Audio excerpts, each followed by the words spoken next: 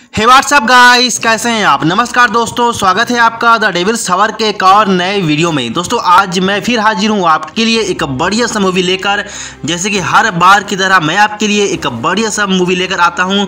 तो चलिए दोस्तों, इस बार भी मैं आपके लिए एक बढ़िया सा मूवी लेकर आया हूँ, जो आपको बेहद ही पसंद आएगी। तो चलिए दोस्तों, बिना वक्त तक इस वीडियो को शुरू करते हैं और इस मूवी के बारे में आपको बताते हैं। तो दोस्तों, इस मूवी का नाम अमेरिकन फाइजो है। अमेरिकन फाइजो एक सिलेसर फ़िल्म है। दोस्तों मूवी की स्टोरी की अगर हम बात करें तो इस मूवी में एक ऐसा आदमी होता है, जो नॉर्मली काफ़ी अमीर होता है और वो काफ़ी ज़्यादा पढ़ा लिखा भी होता है। पर उसके साथ कुछ ऐसा हो जाता है, ऐसा कंडीशन हो जाता है कि उसको साइकिल किलर बनना पड़ता है। उसके साइको किलर बनने के पीछे क्या रीजन है? ये सब आपको इस मूवी में देखने को मिलेगा और इस मूवी को आई ने 10 में से 7.6 की रेटिंग दी हुई है।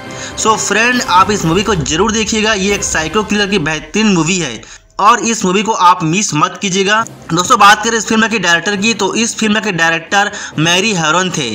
और बात करें इस मूवी के स्टार कास्ट में तो इस मूवी के स्टार कास्ट में आपको Christian Bale Willem Dafoe Jared Leto Josh Lucas Samantha Mathis Matt Ross Bill Sage Chloe Sevigny Cara Seymour Justin Theroux Guinevere Turner Reg E Cathey Reese Reese Witherspoon. इस movie में आपको star caste group में नज़र आएँगे और इनकी भूमिका आपको इस मूवी में देखने को मिलेगी। दोस्तों, बात करें इस फ़िल्म की रिलीज़ डेट की तो यह फ़िल्म 21 जनवरी 2000 को संडास में रिलीज़ हुई थी और 14 अप्रैल 2000 को यूनाइटेड स्टेट में रिलीज़ हुई थी। और इस फ़िल्म की बजट सात मिलियन थी, जबकि इस फ़िल्म ने बॉक्स ऑफ़िस पर चौंतीस मिलियन की कमाई की थी। सो फ्रेंड, इस मूवी को ज़रूर देखिएगा और मुझे कमेंट करके बताइएगा कि आपका मूवी कैसी लगी।